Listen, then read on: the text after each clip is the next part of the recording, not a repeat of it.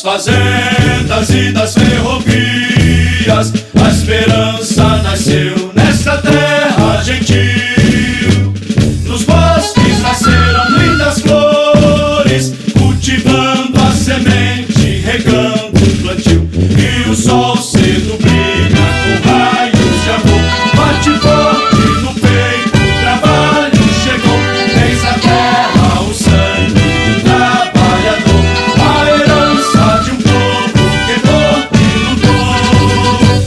minha terra, minha vida.